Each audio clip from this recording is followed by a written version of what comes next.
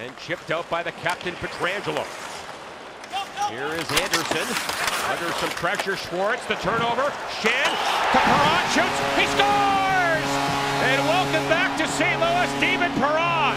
Because of Schwartz battling, he allows Schenn to get in there. I thought Schenn was going to shoot this puck somehow.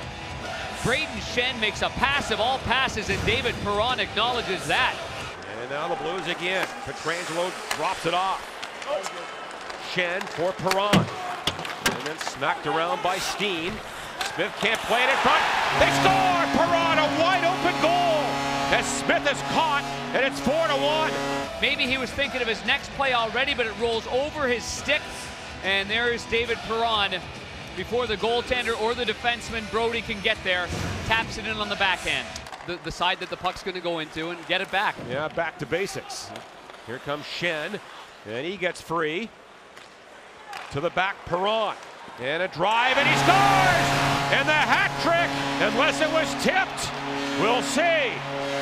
It's 5-1. So his last two hat tricks against the Calgary Flames. October 22nd, 2016 in Calgary. Must love playing against these Flames. And the Blues lead 5 to 1.